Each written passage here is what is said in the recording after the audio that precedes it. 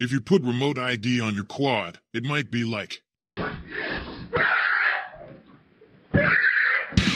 no to remote ID because it's bad for privacy. Protect your rights, take a stand, and boldly defy. That's why you SquidRID and get rid of the RID. Say no to remote ID. The SquidRID.